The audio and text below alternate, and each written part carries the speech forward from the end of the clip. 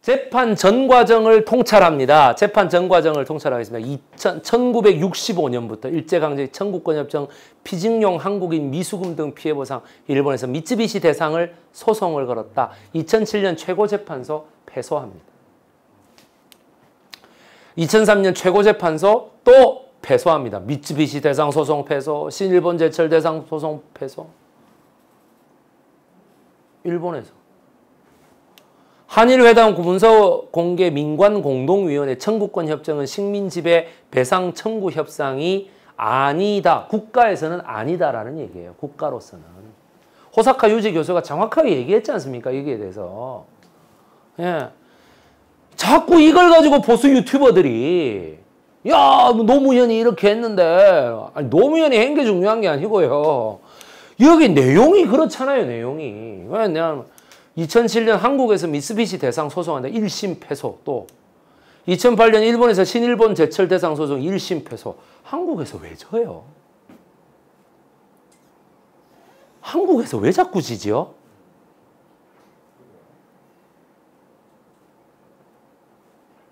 법무법인 누가 나섰습니까? 김현장? 김현장이 나선 거예요. 지금도 김현장이 하고 있어요.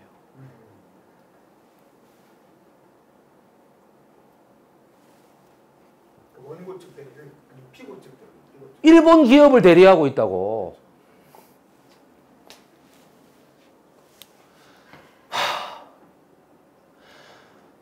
2012년 뭐 2007년 2008년에 아니 아니야.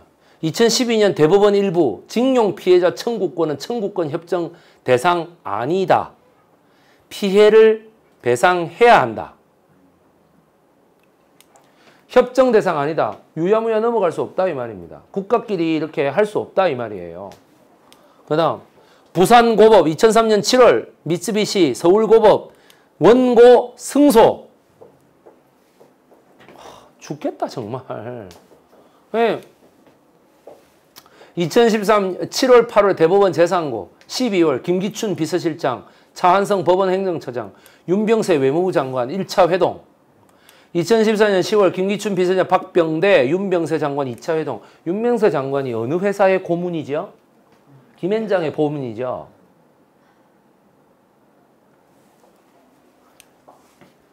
그 중요한 저기 뭐야 협정하는데 백화점에 바지 사러 가셨던 분이잖아요. 이분이. 바지를 사느라 나는 몰랐다. 야, 참 쿠팡에 시키면 되는데. 그렇죠? 여러분 그 쿠팡이라는 이름이 있어요. 동티모르의 항구 이름이 쿠팡이에요. 어, 쿠팡 항구입니다. 세계 최고의 최대 규모의 아마 샌달우드 그 백단향 수출 항구예요. 거기가. 네. 백단향이라고 여러분 저 문에 나무 같은 거 있잖아요. 단향나무 그 저 뭐야 무슨 나무고 뭐 무슨 편백나무 예. 그게 13등급으로 따지면 우리나라 편백나무가 최하위야. 동티모르산 이 샌달우드는요. 그냥 이렇게 보시면 뭐, 뭐 뭐라 그러나 이거 그냥 이렇게 꾹꾹 눌러보면 나무가 아니고 스펀지 같아요. 아시겠어요? 그것 때문에 동티모르가 자그마치 500년간 식민지 생활을 한 거 아닙니까? 그것 때문에 놔주기 싫어가지고 2001년도에 2002년도인가 그때 아마 독립됐을걸요. 예.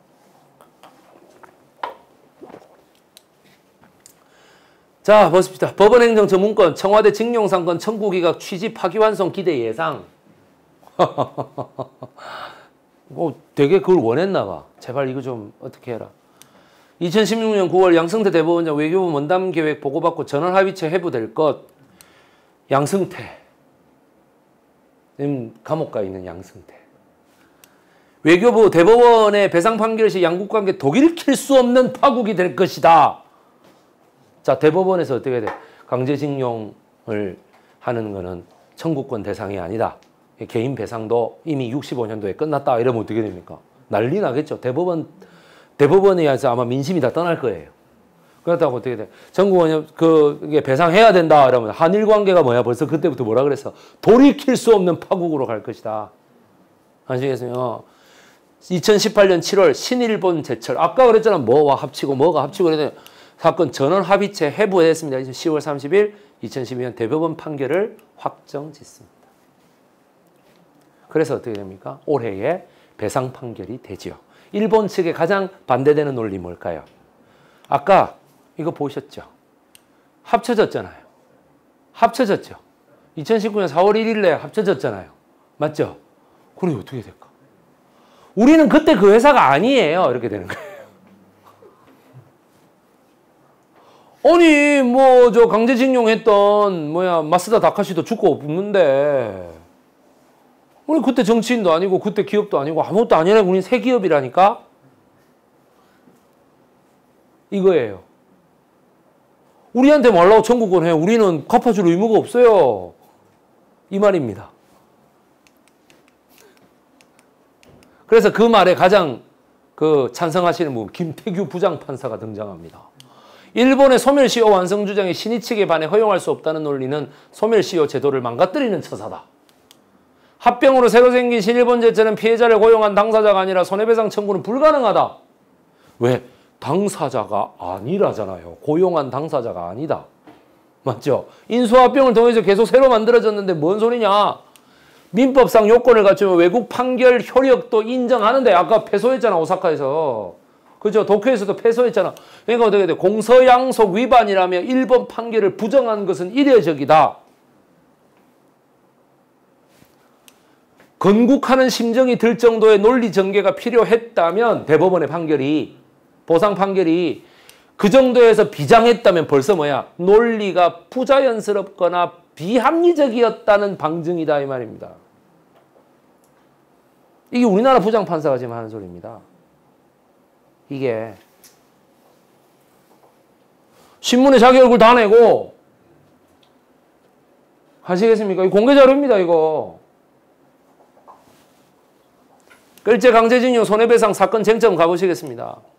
1965년 한일 청구권 협정에서 청구권 자금안에 강제징용 피해 배상금이 포함됐는가? 우선 강제징용이라는 걸 인정하려면 뭐부터 돼야 돼요? 식민지 지배가 불법이다라는 걸 일본이 인정해야 될 거 아닙니까? 안 했잖아요. 안 했는데 왜 소멸됐다고 이상한 소리를 해요? 그것부터 인정하라는데. 안 그렇습니까?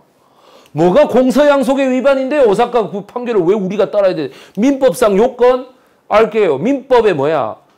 제1요건이 면 신의성실의 원칙이에요. 강제징용 사건이 입증되고 있는데 그 신의성실의 원칙이 일본이 지켰습니까? 신의성실의 원칙을 따져가지고 일본 재판소가 재판한 거예요? 아니잖아요. 법대 나온 저 법대 나온 사람이 왜 법대도 안 나온 일개 사학자가 반박할 수 있는 논리를 저러고 펼치고 있냐고. 개인 청구권, 국가가 협정을 통해 개인 청구권을 소멸시킬 수 있는가? 없습니다. 없다고 판결한 거잖아요. 1번 확정 판결에 국내 지금 자 보세요. 1번, 2번, 3번, 1번, 2번, 3번 딱 그대로 나온 거예요. 앞서 같은 사건 기각한 1번 판결이 국내에도 효력이 있는가? 그 왜 효력을 우리가 인정해 줘야 되는데? 물론 외국에서 무슨 납치 사건이 일어났다든가 이런 거에 대해서는 자국민을 보호하기 위해서 그렇게 해야 되겠지요.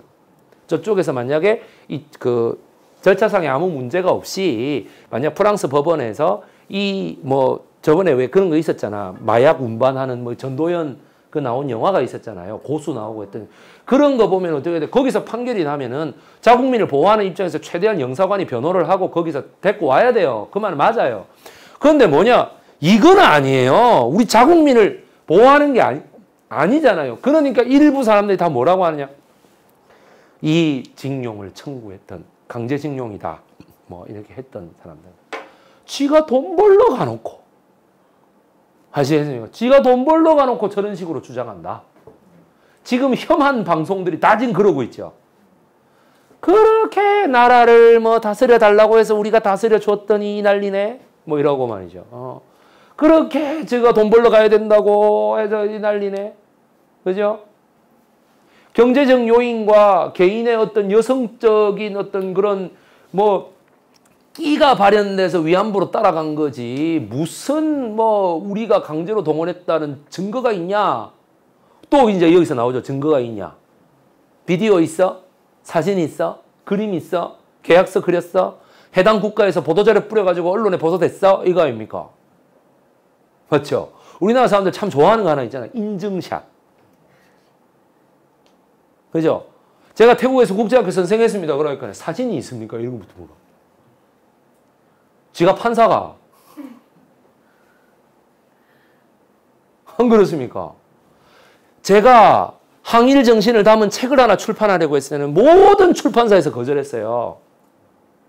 왜? 아유, 뭐, 백이성이라는 작가를 누가 알아요? 아유, 뭐, 저희는 그렇게. 그러면은, 반일종족주의는 왜 내줍니까? 많이 팔릴 것 같아서 내줬나? 예? 많이 팔릴 것 같아서. 이, 이런 책을 쓰면 많이 팔려요? 마치 그런 거네요. 백인의 흑인 차별이라면 아무도 안 읽어보지만, 흑인의 백인 차별이라면 다 읽어보잖아. 그거하고 마찬가지 아니야? 그건 책 내주는 출판사도 제정신 아니라고 봐요. 그 미쳤다고 봐요, 나는. 내가 출판을 하면 의뢰해봐서 알아요. 내 책으로 출판하고 싶다. 모든 사람들이 안 되는 이유가 뭐냐면 티켓 파워가 없다. 백이성이라는 사람이. 몇 권이나 팔리겠냐. 그 논리대로라면 출판업자들 왜 반일 종족주의는 내줍니까? 책을.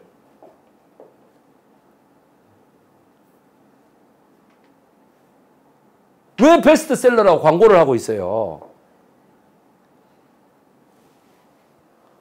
아, 나 너무 답답해, 진짜. 그거 보고 있으면.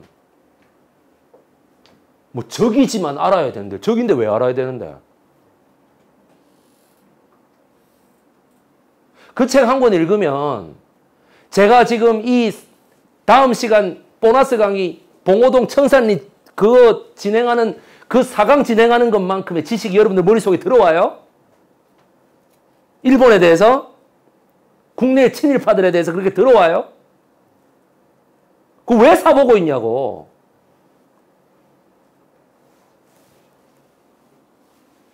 뭐 독도는 일본 땅이라는 그런 헛소리를 왜 듣고 있습니까?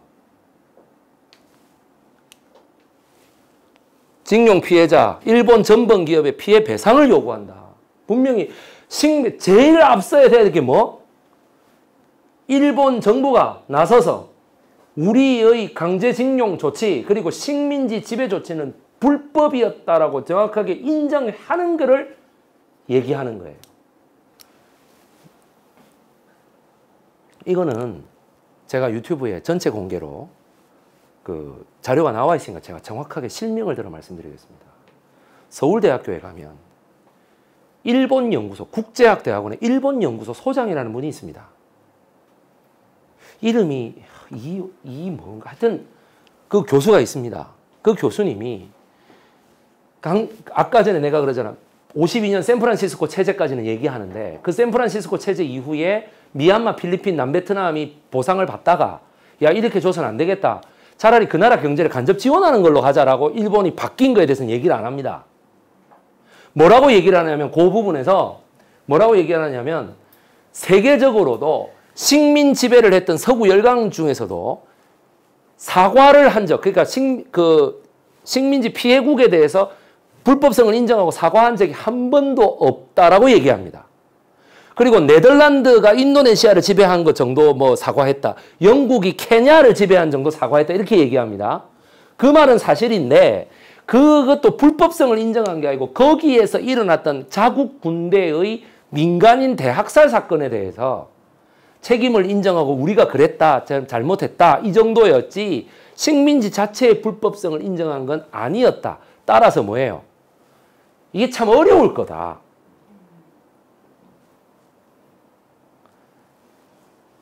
제가 이렇게 얘기하겠습니다. 자, 식민지를 겪은 나라 가운데 우리나라 같은 나라가 없다면서요. 이렇게 경제 발전하고 정권 교체도 이루어지고 심지어 분단을 하고 동족 산장까지 겪었는데도 이렇게 뭐냐 또 민족적 분규도 없어. 민족이 다르진 않잖아요. 그러니까 뭐 분규도 없고 이래가지고 뭐냐 온갖 문제를 다 안고 있지만 민주화, 뭐 산업화, 민주화, 정보화, 4차 산업혁명까지 이렇게 가는 그죠?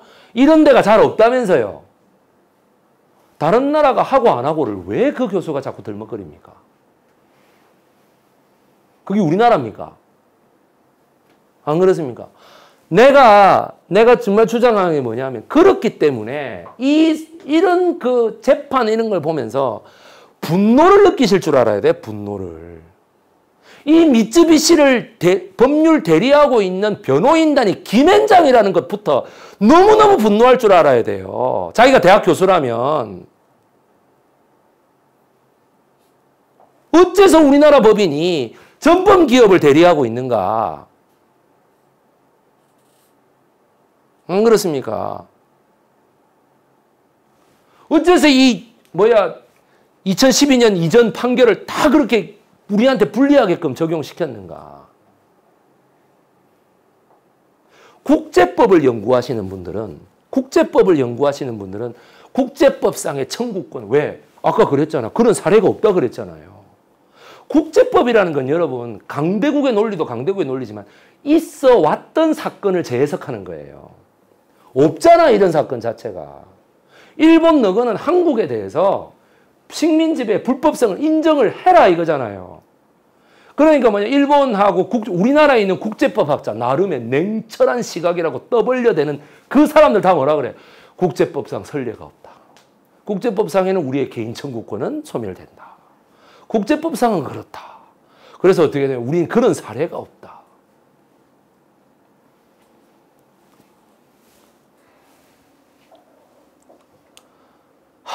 2019년 1월 3일 포항에서 신일철 주고 한국 자산을 압류해라. 5월 1일 강제징용 피해자 변호인단 각 집업의 신일철 죽음 후지코시 국내 자산 매각도 신청했다. 이러니까 어떻게 돼? 못 참겠다. 그러니까 말 그대로 뭐야? 미쓰이, 미쯔비시, 스미토모가 뭐야? 일본 자민당 정권인 거야, 말 그대로. 자민당 150년 역사가 바로 그 세 재벌의 역사라고. 그러니 우리나라에 황당하게 돌았던 그 가짜뉴스 그때부터 뭐 김영삼 전 대통령이 일본 놈들 버르장머리를 고치야 되겠다라고 얘기를 해서 일본 사람들이 자금을 다 빼가지고 IMF가 왔다는 첫 번째 가짜뉴스. 두 번째 가짜뉴스 뭐야? 이번에도 이래가지고 뭐 뭐야? 아베의 할아버지가 아베 노부유키라고 하는 일본 조선 총독부의 마지막 총독이었기 때문에 일본 그 아베 노부유키는 절대로 그 왜 아베 총리는 절대로 이렇게 어, 사과하지 않을 것이다. 자기 할아버지를 그거 하는데 하겠냐? 이 가짜 뉴스. 왜? 아베 할아버지는 지난 시간에도 얘기했지만 아베 간이에요. 간. 누구보다도 조선을 이렇게 통치해서는 안 된다. 식민 통치해서는 안 된다. 미국과의 확전을 해서는 안 된다. 동남아로서도 가서는 안 된다. 우리가 도저히 견딜 수 없을 것이다. 평화주의자였다고. 이런 가짜 뉴스가 어디 있냐고. 그러니까 내가 자, 그 다음 보시죠. 좀 더 객관적으로 가봅시다. 얼마 전에 맨날 감정적으로 얘기하고 자료를 제시하네. 지금 자료 없는 게 어디 있어, 내가.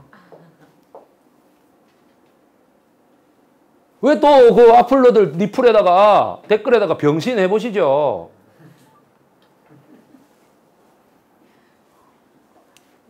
심지어는 있죠. 내를 보고 문재인 대통령으로부터 얼마 받았냐는 댓글도 있었어요. 반려동물의 세계사를 하려다가 이렇게 왜 긴급 편성이라고 했잖아. 그러니까 맞다. 그래 이게 말이야. 문재인이 시킨 거라고 말이야. 어, 나 진짜 지원 좀 받았으면 좋겠어. 그죠? 그럼 우리 촬영 작가 얼마나 좋아하겠어요. 뭐 이 장비도 싹 다 바꾸고 말이에요. 내가. 와, 저번에 내가 어디 방송국에 갔더니만은 이 카메라가 말이죠. 이렇게 철로 이렇게 돼갖고 레일에서 카메라가 서서히 이렇게 움직여요. 이렇게. 이렇게 왔다 갔다 해. 그리고요, 제가 위에가 아무래도 이상해서 위를 이렇게 한번 봤어요. 그 위에 동그란 카메라 이렇게 레일이 해가지고 이렇게 움직이는 거야, 이렇게. 어, 그래서 내가 하면서, 야, 이게, 이게 급이 다르구만. 아주. 내가 그 생각을 했어. 급이 달라. 저는 이제 인터넷 그 유튜브 방송을 할 때 적지 않은 강의가 우리 저기 촬영 작가가 다 이렇게 편집해주고 찍어주지만 간혹 가다가 보시면 핸드폰으로 찍은 게 있습니다. 이렇게. 핸드폰으로 예, 여행 이런 거 이순신 셀카봉 들고 이렇게 여러분 안녕하십니까 지금 현지 기온이 40도에 40도 그러면서 어 나 힘들어서 못하겠어 뭐 이런 거 있어요. 예, 뭐참 지원 받았다. 아이고 이네. 그것도 뭐 저 제이컵 시프처럼 스폰서 받았나. 내가 참 어이가 없어서. 예, 좀더 객관적으로 가봅시다. 이게 뭐냐? 도별 강제동원 사업장 군사시설 현장 분포 현황 뭐야? 강원, 경기, 경남, 경북, 전남, 전북, 충남, 충북, 평남, 평남북, 평북, 함남, 함남, 강원, 함북, 황해도, 남만주, 북만주, 그리고 전국 이렇게 나오잖아. 국내 동원은 만주부터 해갖고 전부 다 동원됐다고요. 전부 다. 이게 국내 직용입니다. 국내 직용. 탄광에서 금, 온갖 보석 다 캐고 여러분은 저기 그 아스달 연대기인가 그 드라마 보세요. 보석 캐려고 그 송중기를 갖다 수직계에다 넣어갖고 어떻게 합니까? 이 손으로 끌죠. 왜 손으로 흙을 팔게 해요 노예들한테? 금속 홈이나 쟁기나 낫을 쓰면 어떻게 돼? 보석이 깨지잖아. 안 그렇습니까? 그 러니까 그렇게 비인간적으로 하는 거예요. 손으로 막 이상한 천 하나 돼가지고 이렇게 손 다치면 작업이 안 되니까. 그죠? 그래서 이렇게 올리면 쑥 올라가고. 그게 고증에 많은 욕을 먹었습니다. 옛날 청동기 시절에 도르래가 어디 있어? 죄송합니다만 필리핀 민다나오하고 중국 광저우에서는 근처에서는 그런 감옥의 형태, 노예들에게 계속 노동시키는 그런 감옥의 수직갱으로 해가지고 이렇게 올라갔다 내려오는 도르래 있죠. 그게요, 4천년 전부터 그런 감옥이 있었어요. 그게 우리나라에 없다고, 그게 없다고 생각하시면 안 돼요. 고조선에 없으니까 없겠지 이렇게 생각하시면 안 돼. 아시겠어요? 예. 일본 강제노동 희생자 6월 귀환 행렬. 자, 삿포로 여기 유바리 탄광 뭐 이런 거 있잖아. 홋카이도에 있는 이 광산들 여기에서 하나 쭉 거쳐가지고 해당 6월 지역 발굴했다. 예, 뭐 이래가지고 이래 한국으로 돌아와요. 강제징용자들 6월이에요. 그렇게 우리나라 사람들이 돈 벌러 가고 자유롭게 사실은 있었는데 생쇼한다 생각할 것 같으면 저 사람들은 죽어서 왜 못 돌아갔어요 우리나라에? 일본이 좋아서 일본에 살았어요. 죄송합니다만 40년에서 45년 사이에 돌아가신 분들이에요 저분들이. 지금도 강제징용 유골이 어디 있는지 몰라. 근데 어떻게 돼? 강제동원 희생자 유골을 일본 사찰에서 보관하고 있대. 일본 사찰에서. 여러분 이 사찰을 전부 연결하면은 창기학회라는 학회가 나와요. 일본 정당의 아주 큰 그 뭐야 불교종의 일본 불교의 그 아주 큰 종이에요. 그 종이 어떻게 됩니까? 강제동원 희생자들을 유고를 갖다가 오키나와 동남아시아 이런 전몰자 유고를 조선인 전몰자 유고를 2만 2천 위로 추정하는데 이 정도 2,772 정도는 수습을 해서 그 사찰에 모시고 있는 거예요. 그나마 다행이에요. 불행 중 다행이야. 그래서 이 정당이 이 불교 세력의 정당이 아베의 자민당하고 같이 연합이 되어 있습니다. 이게 뭐냐 공명당이라는 당이에요. 그러니까 이 공명당 때문에 어떻게 돼요? 그나마 이 헌법 개정 이런 걸 반대하는 거야. 자민당 정권이. 왜? 공명당하고 같이 출마하거나 공명당은 출마 안 하고 이렇게 안 하고 이러면은 절대 3분의 1을 못 넘어가요. 과반을 차지하지 못해요. 중의원이고 참의원이고 간에. 그러니까 뭐냐 홋카이도, 주부, 간토, 긴키, 주고쿠, 시코쿠, 규슈, 오키나와 걔들도 보수 세력인 건 틀림없는데 아시겠죠? 틀림없는데 아베 같진 않아요. 아시겠죠? 아베 같진 않아요. 일본 강제징용 현장 지금부터 보시겠습니다. 나가사키 미쯔비시 본사 조선인 6만 명이 동원됩니다. 6만 명이 예, 미츠비시 본사에 있던 나가사키 조선소 여기 하시마 바로 군함도 아키타현 조선인 강제동원 아키타 일본의 그 아키타 개 아시죠 개 예. 아키타 강제동원 13,000명 그죠? 예, 요런 광산들 전부 광산이라는 광산이라는 게 그 갱도에 보시면요 말도 못합니다. 내가 단톡방에다가 필리핀 사금 민다나오 사금 광산의 그 비참한 모습을 내가 그 옛날에 JTBC가 종편으로 지정되기 전에 그냥 케이블 방송국이었을 때 다큐 클래식이라는 게 있었어요. 거기에서 주장을 제가 하나 오늘 카톡방에 올려드릴게요. 그거 한번 보세요. 그래 놓고도 무슨 경제 발전을 위해 자발적으로 따라갔다는 말이 나올 수 있는지 그것보다 다섯 배로 열악했다고 생각하시면 돼요. 거기는 밥이라도 주고 월급이라도 주지. 안 생각. 그러니까 어디 아키타, 홋카이도 아까 보셨죠? 그 지도에. 홋카이도, 가야누마 탄광, 탄광, 제철소 1938년부터 45년 홋카이도에 뭐야 15만 명의 조선인이 살았다. 고향이다 어디야? 전라도 경상도야. 살고 싶어 살는 사람이 아무도 없어요? 없어요. 그 다음에 뭐야? 후쿠오카, 아소. 여러분 아소라는 그 관방성 장관 있지 않았어요? 총리인가? 어. 아소다로 그 집안이에요. 아소라는 재벌 기업에 아소 탄광. 뭐야? 조선인들이 가장 많이 울고 가장 많은 낙서가 발견된 그 탄광. 아소 가혹하기로 하루에 한 끼 줬잖아. 공략 이 뭐야? 적 토량을 채우지 못하면 6시에 딱 점호 때려가 채우지 못하면 저녁 없다 그래야 되는 거야. 채우지 못한 갱도는. 그러니까 조선인들끼리도 막 서로 죽이는 거예요. 약해졌다 싶으면. 왜? 이놈을 죽여야 빨리 건강한 새놈이 와가지고 우리가 밥을 먹을 거 아니에요. 이런 비인간적인 짓을 저질러 놓고, 비인간적인 짓을 저질러 놓고, 발음도 제대로 안 돼. 너무 화가 나니까. 그 다음, 도야마. 도야마. 근로정신대. 여성 공, 즉, 여성 공인 직공들이 제일 많이 가셨다. 여성 직공들로 해가지고 이 뭐야 1089명이 근로했습니다. 이분들도 뭐야 그 임금 채권 반환 소송이 아주 중요한 당사자들입니다. 이분들이. 일본 강제징용의 현장. 뭐 좋지 않아서요. 빨간색으로 제가 썼습니다. 그리고 전체도 다 빨간색으로. 제가 처리한 건 아니고 이제 그 거기 인터넷에 올린 분이. 자 이제 강제 이민의 역사를 한번 보시겠습니다. 이민의 역사. 하, 여기가 어디입니까?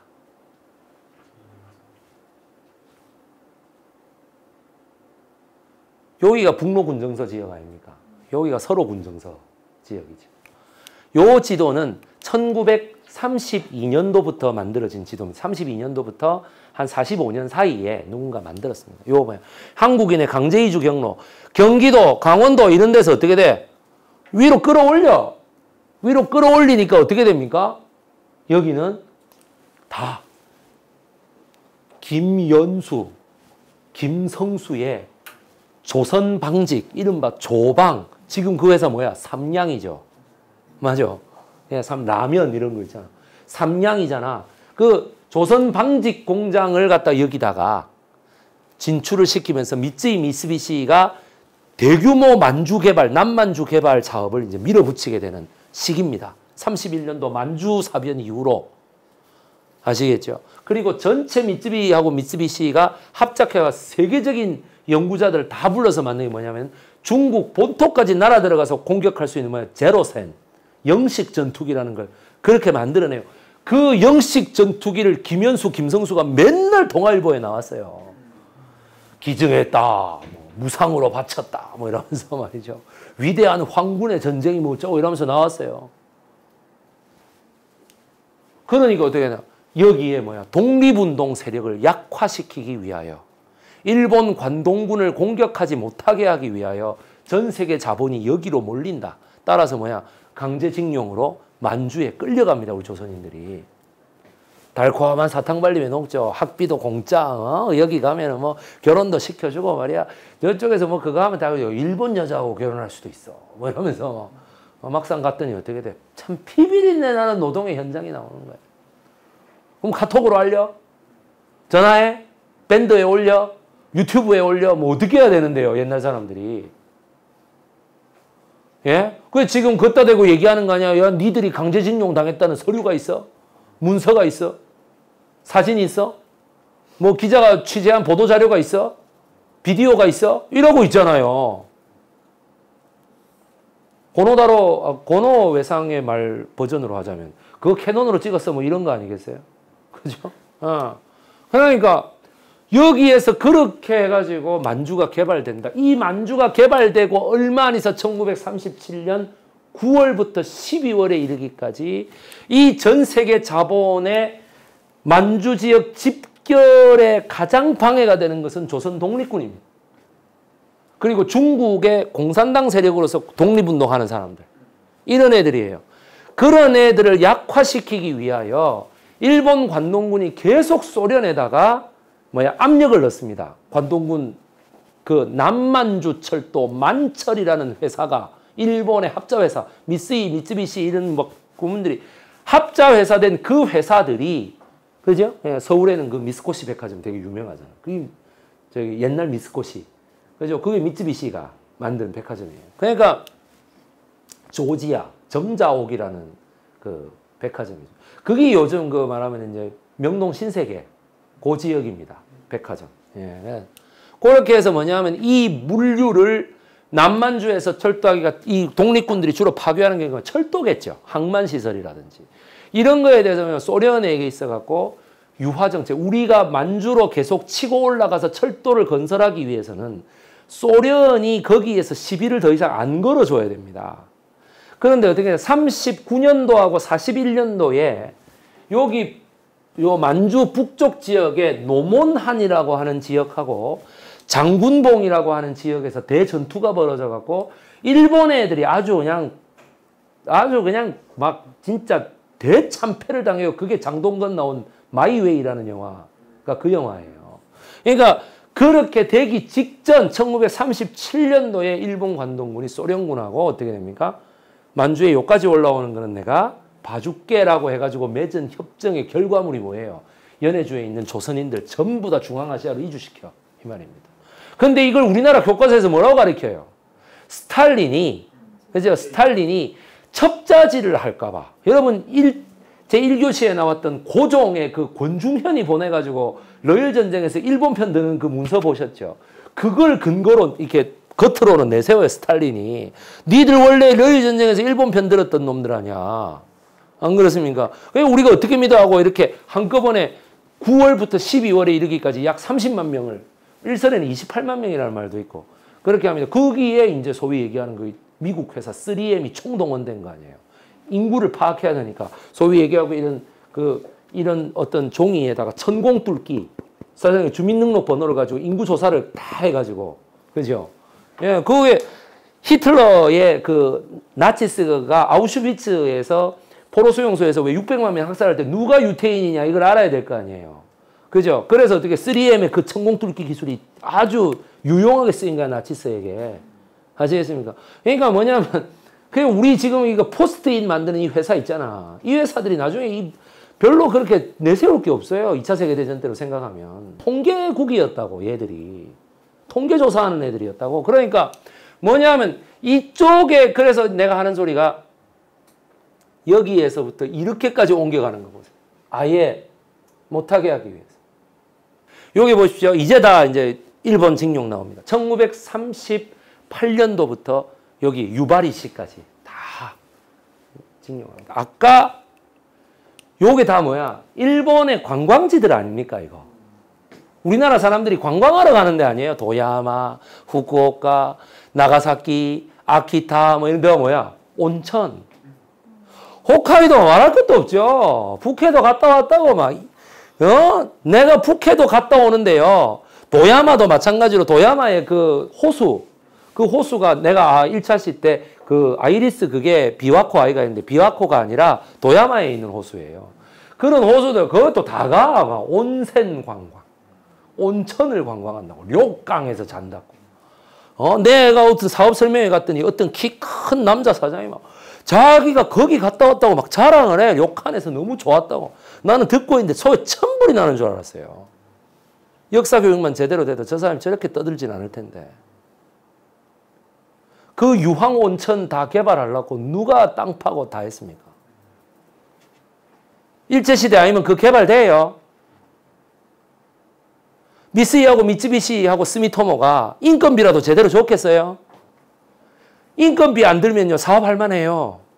인권은 처참하게 짓밟히는 거죠.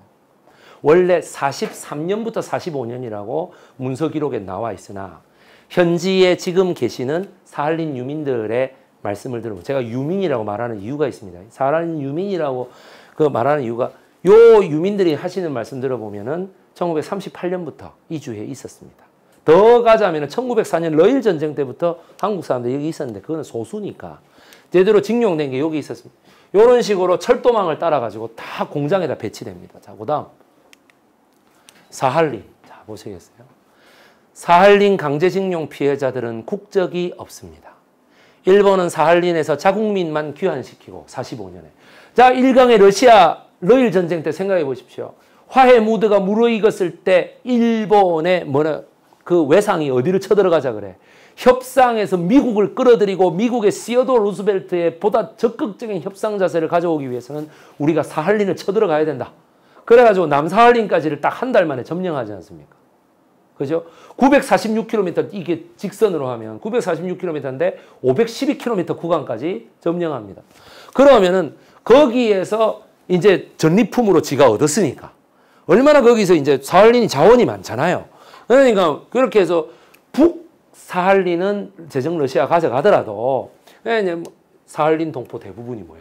국적이 없는 거야. 왜? 일본 애들이 도망갈 때 내비두고 그냥 지금만 뺐어요. 그러니까 러시아 애들은 야 니들은 어느 나라야? 한국이라고. 아 우린 국적 인정 못해.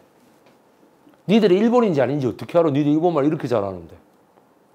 그냥 그러니까 그냥 조선에서 우리 조선에서 일본으로 갔다가 무국적으로 바뀌었다가 다시 북한으로 또 가요. 북한 사람 북한의 정권이 예, 김일성이가 이거를 보내가지고 사람을 보내갖고 하, 가자고. 그래서 53년부터 65년 사이에 또 북한으로 많이 가요. 그 사탕 발림에 속아가지고. 북한 놈들이 거기서 아, 거짓말 엄청 해요. 도야마에서 만경군봉호 태워가지고 우리 조총연계 우리 조선 사람들 가져가 데려갔듯이 엄청 거짓말 잘해. 뭐 가면 뭐 적과 꿀이 흐르는 땅이고 뭐 대학교도 공짜로 보내주고 막 이러면. 그래서 경상도가 고향이신 분들이 다 그래갖고 내가 국적 없이 사느니 막 그래 갈란다 이러고 가요.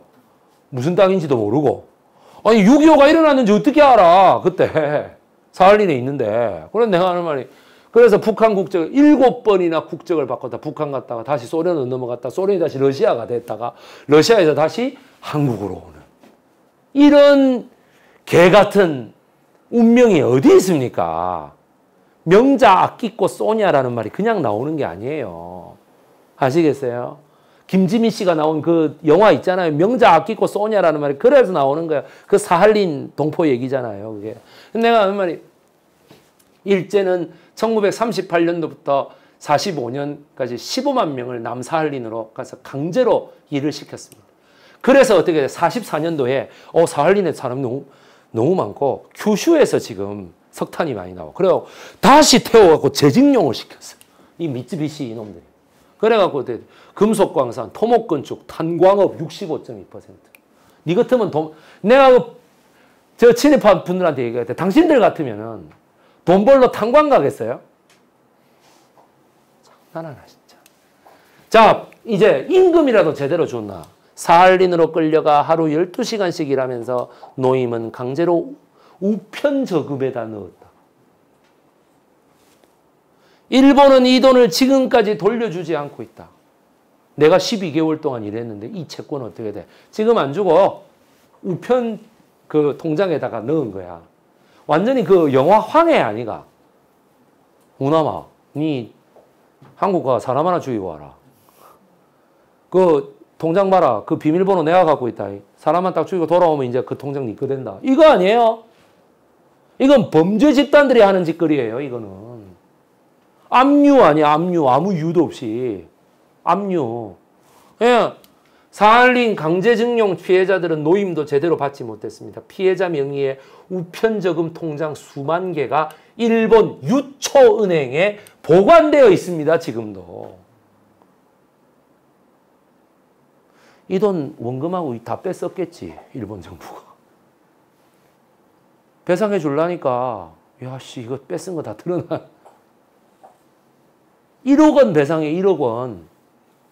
큰 돈도 아니에요. 아시겠죠? 우편 저금 통장이잖아. 여기 있잖아. 통장이잖아요. 여러분 이 겸이포 제철소에 중국 사람들이 건설하면서 오죽하면 그 짬뽕이라는 요리가 그렇게 뭐 정하자면 호주를 처음 발견했던 영국 사람들이 저 뛰어댕기는 동물은 뭐야? 그러니까 잘 모르겠어요. 그러니까 캥거루라며 그게. 그래놓고 왜 짬뽕은 인정 안 해? 그럴 리가. 푸젠성에 살아봤습니까? 안 그렇습니까? 그러니까 내가 하는 말이 이렇게 정말 여러분들에게 보여주면 제가 이거 있죠. 저는 어, 21살 때까지는 부산에서 아주 보수적인 역사관을 주입받으면서 컸습니다. 컸습니다. 그런데 제가 공부를 하면 할수록 공부를 하면 할수록 이런 슬픈 현실을 누가 시키지도 않았는데 내가 다 공부를 했어요.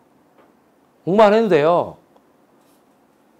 뭐 국사학과 대학원 나왔다고 다 아는 것도 아니에요. 모르는 사람 많아요. 뭐 그런 것도 있었어? 이런 경우 있어요. 그냥 오로지 관심은 지 교수 되는 거예요, 그냥. 그렇습니까? 아니, 그, 저기, 제가 여기 있는 이 테란로 대학교, 신촌대학교 이런 게 뭐야. 기존의 4년제 국립종합대학교의 교수 시스템을 정면으로 비판하고 나오는 게 이 대한대학교 운동이에요. 안 그렇습니까? 내가 하는 말이 이렇게 이렇게 각 관광지에 사람들이 가서 인증샷 찍는 이런 거 있잖아. 이러고 찍는 뭐 이러고 찍는 이런 포즈를 볼 때마다 일본 가고 싶다.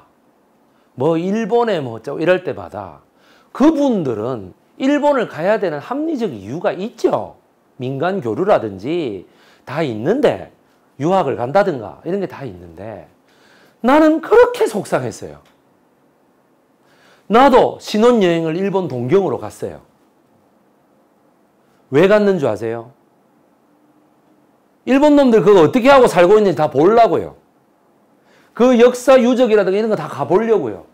제 집에 사진 다 있어요. 한번 가보자. 어떻게 하는지. 오사카에도 제가 가봤어요. 왜? 한국 사람들이 그렇게 많이 가서 산다며. 그러지? 가서 봤어요. 왜냐면 오사카도 그렇고, 그, 하지만 우리 한국인이 가장 가고 싶은 관광지 이런 거였어요. 작년까지만. 여기 우리 태, 서초대에도요, 무작정 일본 여행 가볼까 뭐 이런 게 있었어요. 3월 달에. 내가 그 수업도 들었다니까. 이런 분위기가 아니었어. 민간인은 민간 교류는 따로 하고 정부의 배상은 따로 가는 이런 two track이었어요. 아베가 괜히 난리친 거예요, 아베가. 다 교류 다 끊어지게 만들어버린 거예요. 왜 시비를 거냐고, 시비를 걸기를. 안 그렇습니까? 그 학과장님이 그 관광을 해서 좀 이렇게 사업도 하시고 할라 했는데 큰일 났습니다. 그래서 저랑 같이 9월 달에 여기 코지에서 그분하고 둘이 앉아가지고 이 아베의 무역 전쟁에 대해서 진짜 그런 어떤 일본어에 능통하신 분하고 같이 앉아 제가 대담을 좀 하려고 합니다. 그래서 황 작가 스케줄하고 딱 맞으면 우리 황 작가님이 딱 촬영해 주시고 우리 둘이서 딱 해가지고 우리 최윤정 매니저님이 뭔가 진행을 딱 해가지고 이렇게 한번 해볼라 그럽니다. 예, 새로운 시도죠. 예, 새로운 시도죠. 이 말만은 백이성이 그게 가능한가? 가능하다는 것을 한번 보여드리도록 하겠습니다.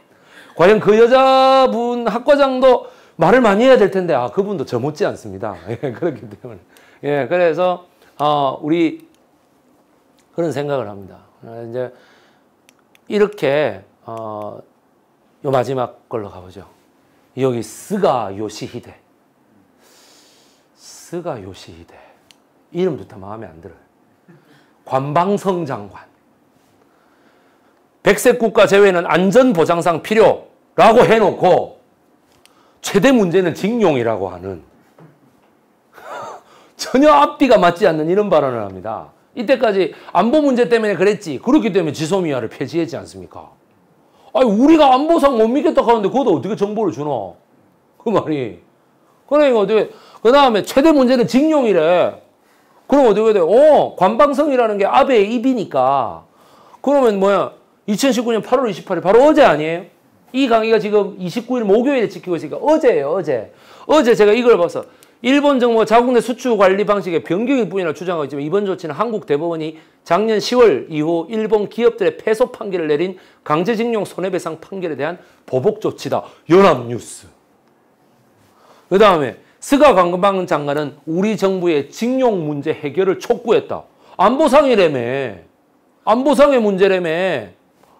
한일 관계 최대 문제는 징용 문제라면서 한국 측이 부정적이고 비합리적인 움직임을 계속하고 있다. 아, 지들 도발이나 하라고 하세요. 지들부터 불법성을 빨리 인정하세요. 세계 최초로. 그 다음에 이어 일관된 입장의 기초에 계속 한국 측 현명한 대응을 요구해 갈 것이라고 덧붙였다. YTN. 또 8월 28일. 여러분 YTN은 다른 줄 아시죠? 연합통신 뉴스 이 말입니다. 예. 제가 옛날에 이래 있는데 어떤 여학생이 저하고 좀 친했던 여학생인데 그 여학생이 어 선배 뭐냐 YTN이 무슨 뜻이야 그러더라고요. 왜 내한테 묻냐? 선배는 알 것 같아서 연합통신 뉴스 이랬더니 아 이러는 거야. 그 말은 뭐냐면 뭐 대단한 건 줄 알았나 봐 YTN이라는 게 무슨 영 텔레바이즈드 뭐 이런 건 줄 알았대. 그래 내가 연합통신 뉴스 내가 그랬더니 아 담배 인상공사는 왜 코바코야? 코리아 단박고엔 진생이다 왜?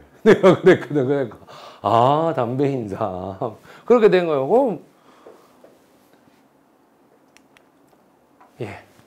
여러분 뭐 지금 저기 그 정관장이라는 회사는 그 미스이하고 아무 관계 없습니다. 예, 뭐 오해하실까봐 제가 말씀드려요. 그래서 이제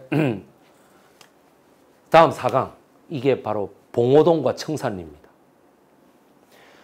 어, 원래 오늘 종강입니다. 테란 로데는 오늘 종강인데 다음 이 요 시간에 여러분들 모두를 제가 초청합니다. 누구든지 오실 수 있습니다. 누구든지 오실 수 있는 강의로 해서 좀 이런 강의는 좀 많이들 오셔가지고 우리의 그런 독립군들이 호랑이 잡는 포수든 뭐든 독립군들이 과연 어떻게 싸웠는가. 지금 봉오동이라는 전, 그, 이 영화가 흥행을 치고 있습니다. 조금 이렇게 사그라든 것 같긴 한데 청산리 전투도 예전에 뭐 일송정 푸른 소리인가 뭐 그 영화가 있었습니다. 이보희 씨가 나오고 그랬었어요. 예, 진짜 옛날 영화입니다. 제가 초등학교 때 가가지고 막 이렇게 방공 영화라고 그게 왜 방공 영화인지 모르겠는데 항일 영화지. 그래갖고 이제 가서 청산리 전투의 그 모습 대첩이죠 대첩. 어말 그대로 이제 김좌진이라는 이름은 그 소위 장군의 아들로 유명하잖아요. 이, 이 과연 김두한이라는 사람이 김좌진 장군의 아들인가? 어. 그런 것도 있고, 이제 뭐 제가 또 이렇게 제 인생샷을 이렇게. 인생샷입니다. 이건 거의 제가 볼 때는. 어, 인생샷입니다. 그 똑같은 제가 와이셔츠를 딱 이렇게. 예, 뭐 이렇게 딱 입혔습니다. 이때가 그 겨울, 예, 1월 4일 날 제가 찍은 올해 1월 4일입니다. 예, 그래서 이제 있는데 고지 3호점이고 9월 5일 저녁 7시 30분에 제가 진행하도록 하겠습니다. 어, 제 그 유튜브 구독자가 제 강의가 시작될 때 보니까 12,002명이 됐습니다. 예. 8월 12일 아침에 만 명을 넘어서고 어, 그 19일인데 17일 만에 2,000명을 달성을 했던 아주 고무적인 상황입니다. 그 역사 강사로서 노래하는 역사 콘서트라고 하는 감성 스토리 교육원이라는 게 있습니다. 그래서 요번에도 뭐냐면 9월 17일 날 제가 진행을 할 겁니다. 여기에서 어, 저 최초로 예, 제가 공개하도록 하겠습니다. 그 주제. 그 보통 영화나 드라마를 하나 소재로 해서 그 연관 역사를 끌어갑니다. 제가 커뮤니티 탭에다가 3주 전에 제14회 역사 콘서트를 개최합니다. 뭘 하면 좋을까요? 뭐 이렇게 했습니다. 정통 역사 이야기, 뭐 고려시대 이런 거 있죠. 그 다음에 어떻게 돼? 아주 시사성이 높은 현대사 이야기. 그 다음에 일제시대 이야기. 근데 연도도 적었어. 그냥 4번이 그거였습니다. 그냥 네가 알아서 해라. 예, 뭐 이렇게 적었더니 1, 2위가 뭐였냐면 1위가요. 아주 시사성이 높은 현대사 이야기였습니다. 2위가 네가 알아서 해라였습니다. 어, 이거 놀라운 결과였습니다. 그래서 3위가 뭐였냐면 일제시대였습니다. 그러니까, 예, 참, 야, 이거 참, 그 많은 구독자들께 감사를 드립니다. 무려 370명이 투표에 참여했다. 굉장한 비율입니다. 여러분, 국민 전체에게 여론조사를 돌려도 응답률이 몇 프로 나옵니까, 그게. 대단한 응답률입니다, 이거. 그런데 와, 이건 표본 집단으로서 정말 완벽하다. 유효하다, 이 정도라면. 응답률이 저희 내가 보기에는 한 17% 가까이 되는 여러분 선거 때요 응답률이 6%만 되면 최고의 여론조사예요 선거 때 국회의원 한 지역구가 그래요 아시겠죠? 그러니까 내가 말이 그 내가 이렇게 얘기합시다. 그렇게 해서 보니까 그러면 현대적인 시사성도 있으면서 시대적 조류를 반영해서 일제 시대도 다룰 수 있는 거. 이게 뭐가 있을까? 연결되는 거. 그러면서 영화에 뭐가 딱 하나 나와야 되지 않겠어요? 제가 그래서 말씀드립니다. 여러분 김복동이라는 영화 아십니까? 예, 종군 위안부 문제. 제가 예전에 그 이 테란로 대학교의 전신이 뭐냐면은 이태원대가 있었어요. 이태원 대학교에서 제가 했던 게 뭐냐면 그게 신촌대라는 프랜차이즈에서 테란로에서 하면 테란로 되고 서초대 서초에서 하면 서초대고 뭐 이런 거예요. 저기 광진에서 하면 광진대학교고 뭐 그런 거야. 그럼 이름 붙이기 나름이에요. 근데 뭐냐면 그때에 제가 뭐 그 이 팩트 체크 일제 시대사 이래가지고 탁 올렸거든요. 1강이 뭐였는 줄 아십니까? 그 공창 문제. 일본 놈들이 이걸 공창이라고 자꾸 얘기하잖아. 그러니까 뭐 종군 위안부와 공창 문제 이걸 딱 1강에 내세우니까 어떤 사람이 단톡방에다가 있죠. 예. 이거 수정해라. 네가 위안부를 지지하느냐? 뭐 일본 주장을 지지하느냐? 이러고 있는 거예요. 그래서 우리 저기 그 윤봉기 위원장을 위시한 모든 다른 학과장들이 그 사람을 공격해가지고 아니구나 이러고 이제 꼬리 내렸는데 공식적인 사과를 한 적이 없습니다. 그 사람이. 예. 일본하고 똑같죠. 식민지 지배의 불법성을 인정한 적 있습니까? 없습니다. 이렇기 때문에 우리나라 사람들도 일본 사람들도 뭐예요? 사과를 잘 못하는 거예요. 사과를. 잘못한 거에 대해서. 마유감이다. 일본 속담에 뭐가 있느냐? 맨날 우리 한국 사람들한테 일본 식민지 교육으로 가르쳤던 속담 뭐? 냄새가 심하게 나는 항아리는 뚜껑을 덮으면 돼. 그걸 맨날 우리 할아버지 할머니 세대들한테 가르쳤어요. 그거를 깨끗하게 비우고 씻어내고 버리고 이렇게 안 가르쳐요. 그냥 덮어. 왜? 갈등을 일으킨다 이거예요. 아시겠습니까? 이게 일본이에요. 와, 이거. 이 화를 중요하게 여기는 민족.